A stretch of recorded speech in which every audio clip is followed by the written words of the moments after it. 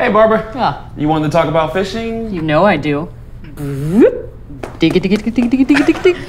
Have a seat. It's about your security training. Certain employees didn't do as well as others. What?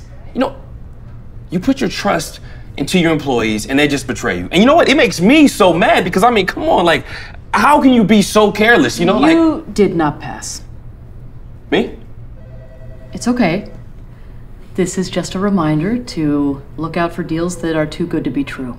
What? I mean, you know that these scams these days are so sophisticated. Like, who can tell who is who? Subject line super great deal, best ever, no downside at all, and great is spelled with the number eight. Okay, so the, subject line should have tipped me off, but the body of the email was uncannily like your voice. Hey, it's me, your boss. Barba Larba Ding Dong? I mean, that is what people call you the office. It is? so you didn't want to talk about like fish fishing? No, I did want to talk about fish fishing. I've got my hot rod right here. All right. Hey, see ya.